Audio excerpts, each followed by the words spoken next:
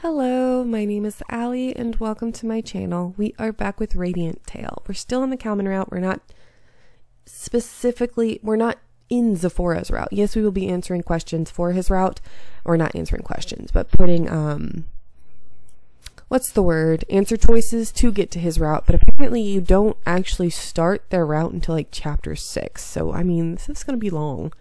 But, um, I was going to say too, if I sound like I just woke up, I kind of did, like about 30 minutes ago, something like that. So, yes, I just wanted to get as many recordings in as I can today because it's been a long time. So, anyway, let's just go. Things moved very quickly after I made up my mind.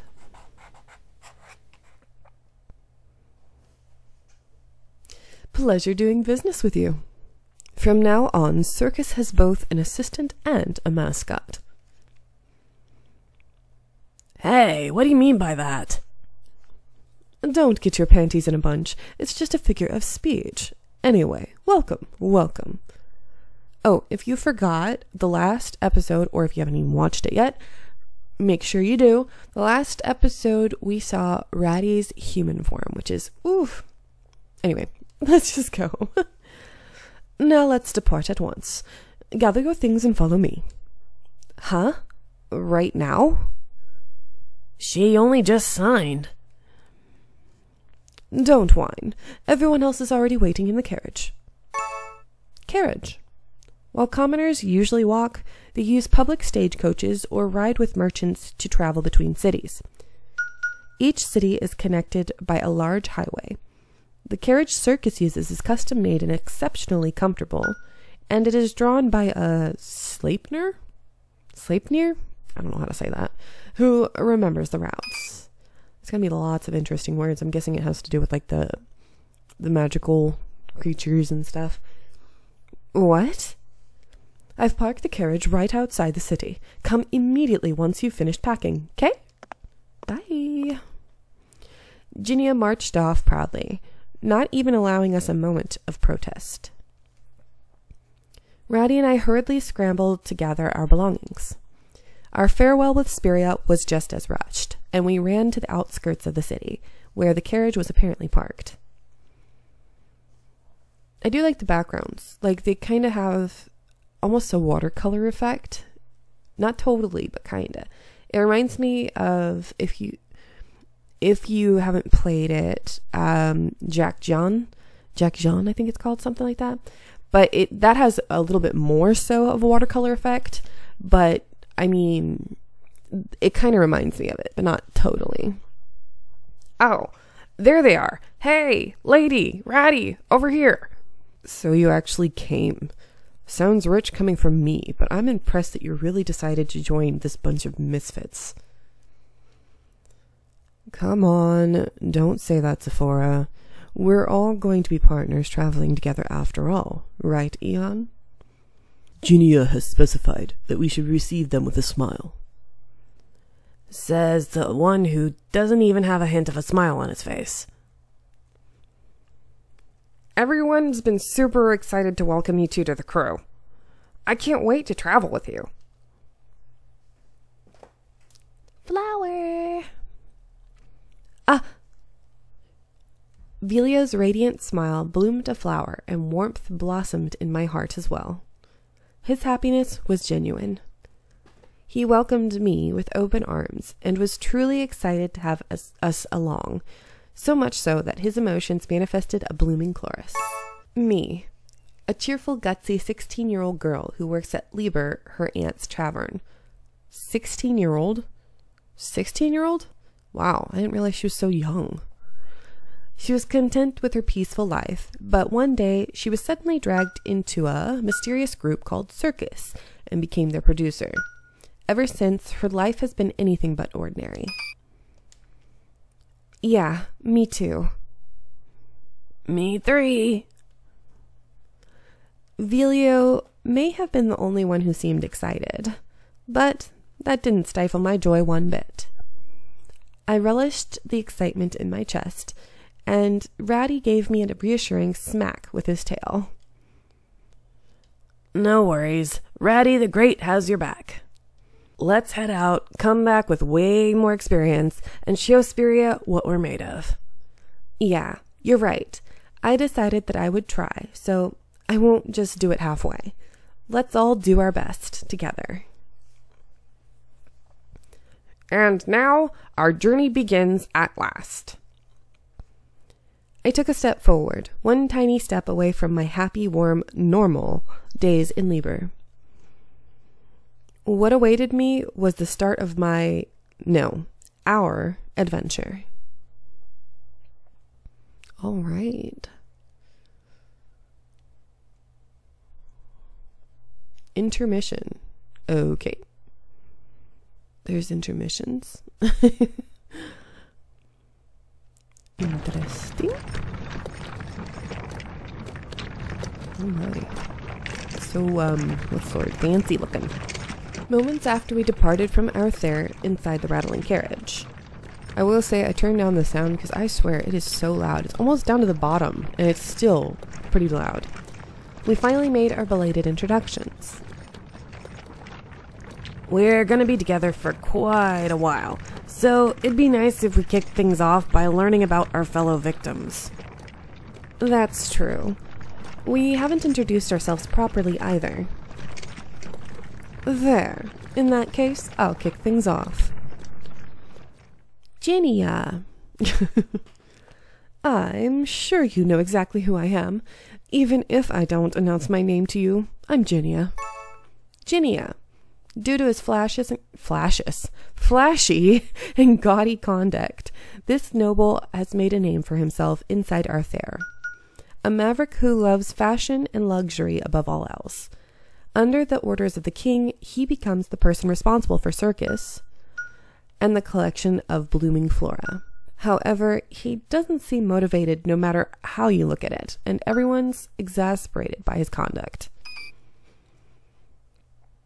I usually work in the castle, but my elegance must have been so loved and admired that they couldn't resist making me circus's leader. Circus Dash One. a troupe of performers led by Ginia. They answer directly to the reigning king, King Vigonia. Interesting.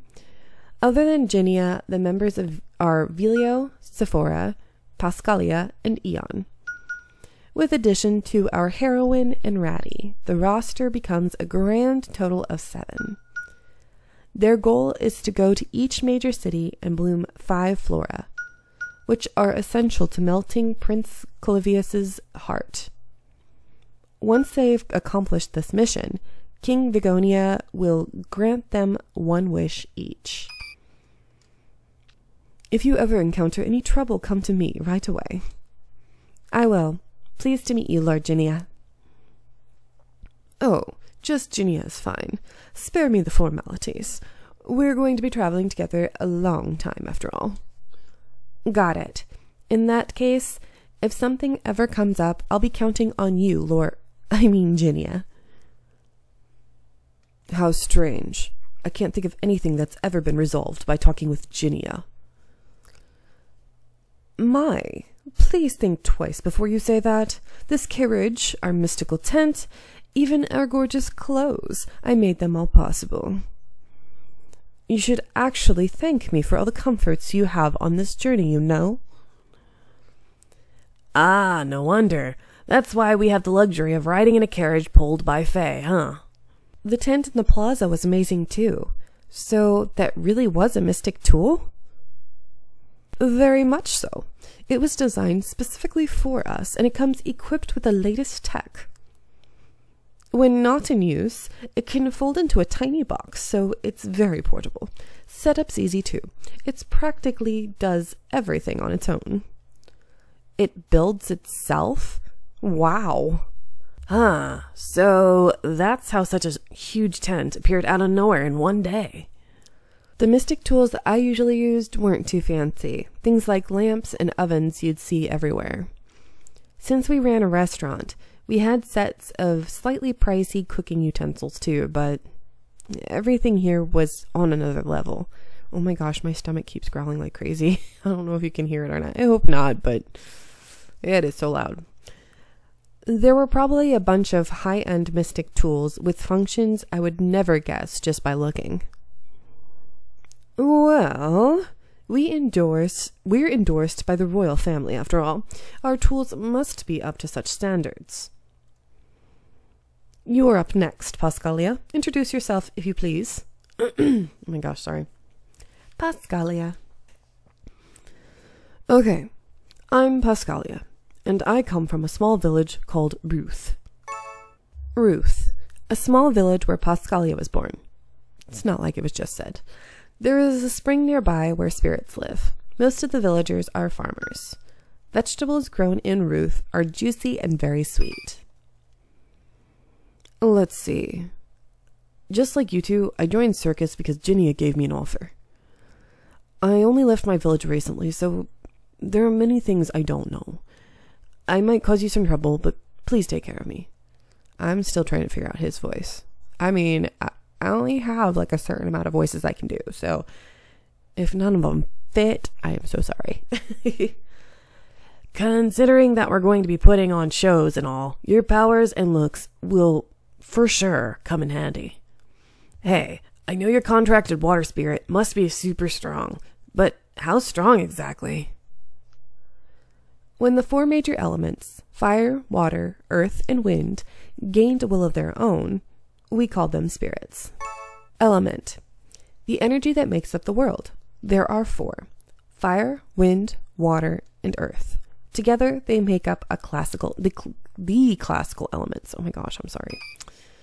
I am just messing up everywhere. They could be said to be nature itself, and they were everywhere. If a human formed a contract with one, they could borrow the spirit's power and unleash it in the form of what we called magic.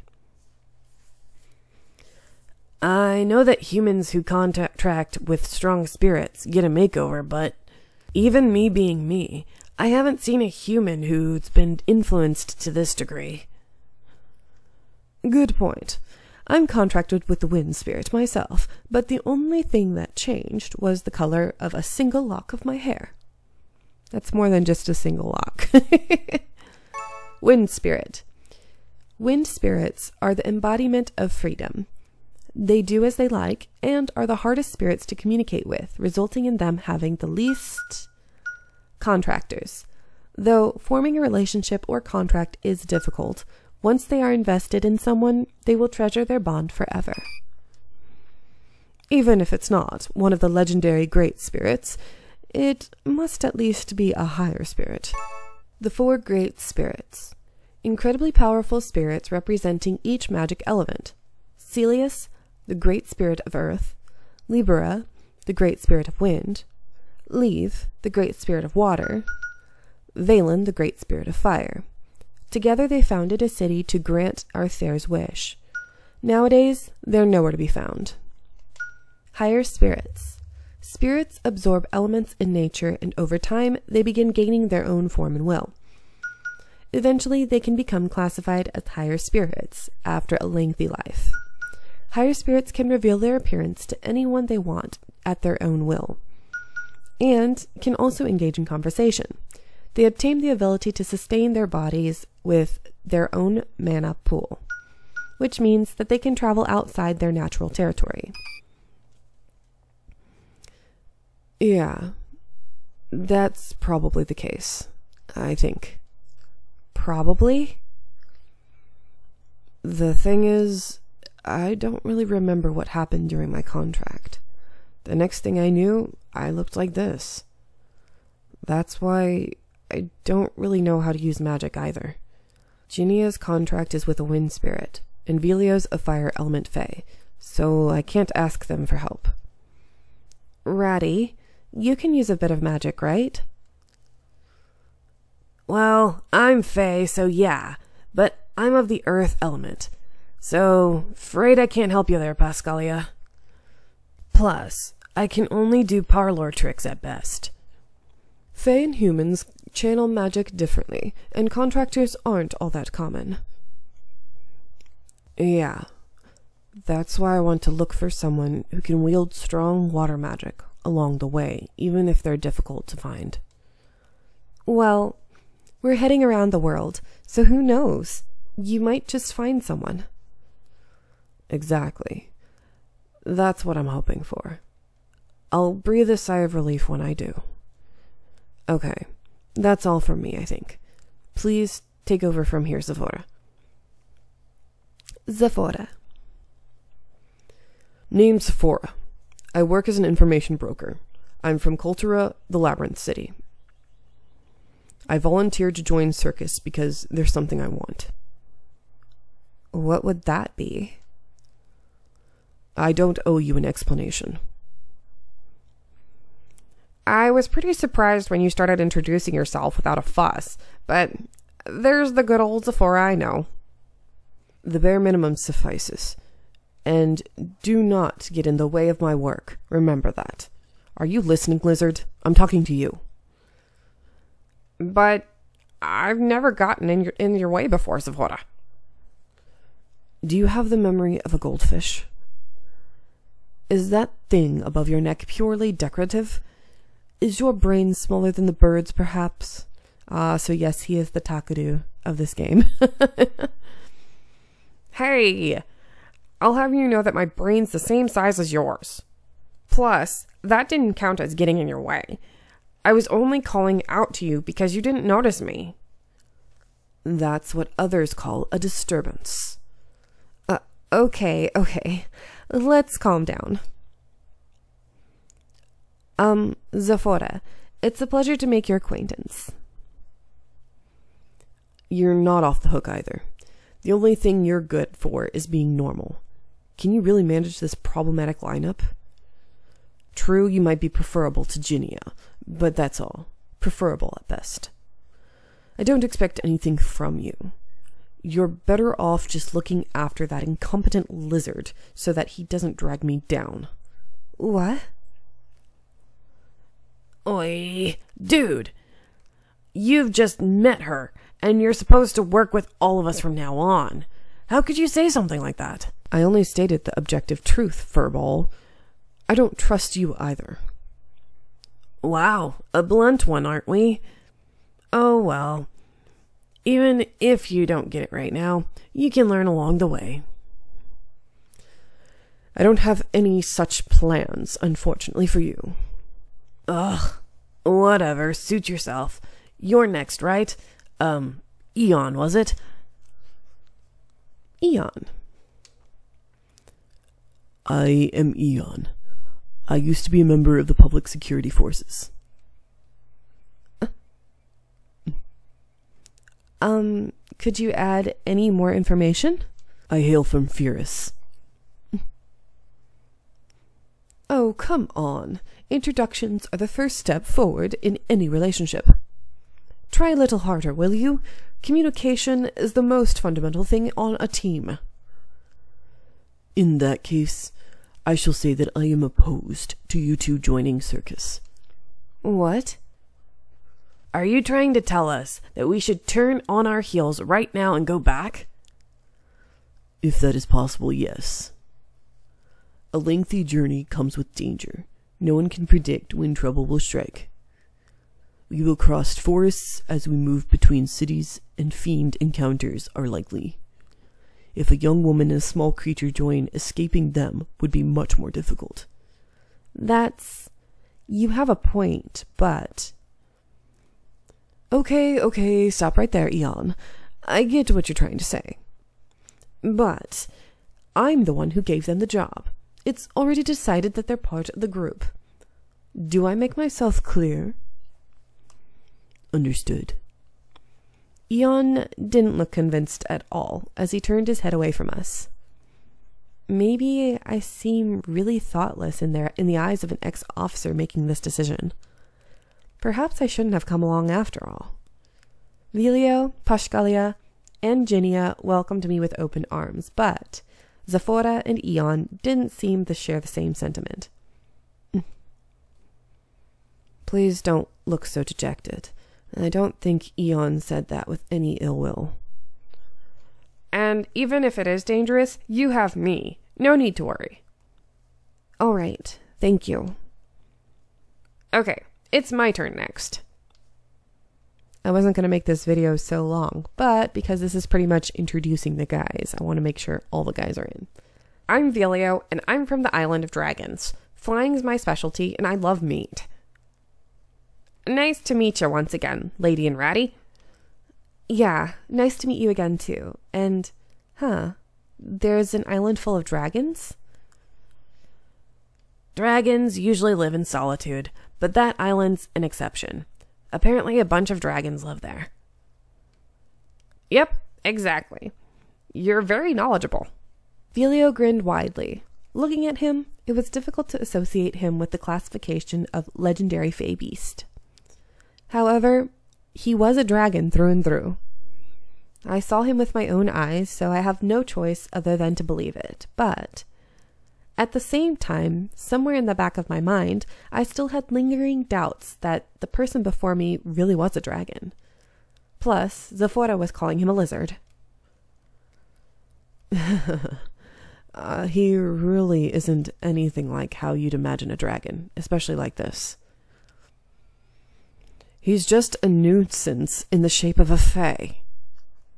At any rate, it's nice to meet you. Okie dokie, time for our introductions now. Ratty. I'm Ratty, and as you can see, I'm a lovely and adorable Fey Beast. I'm gonna be the team mascot after all. You can count on me to attract loads of spectators with my killer cuteness.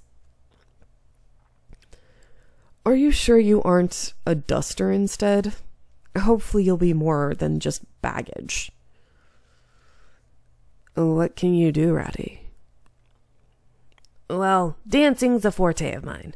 Ah, and nobody can beat me when it comes to being popular with kids. Dancing? I see. I'm a bit envious. I've never been very good at it. I can teach you my almighty pretty dance. Any time you want. The offer always stands. I might take you up on that sometime. Sure, leave it to Ratty the Great. And I'm the only one left, right? I'm Lady. I'll do my best to support everyone as the public relations manager and producer. Assistant girl. Our heroine's occupation in circus. Usually she doesn't stand on stage as a star of the show, but plays a critical role in supporting the framework of the troupe. Thinking about strategies to attract spectators, coming up with the content of their show, and giving instructions to all the members in her job is her job. I hope we can all work well together. Of course. I'm looking forward to it. Now that we've gotten introductions out of the way, I'll sum up what our goals are once again. If I remember correctly, we have to perform at each of the five major cities and make the flora bloom, right? But if we only need five flowers to bloom, can't we just perform five times at the capital? Why go through the trouble of touring through each city?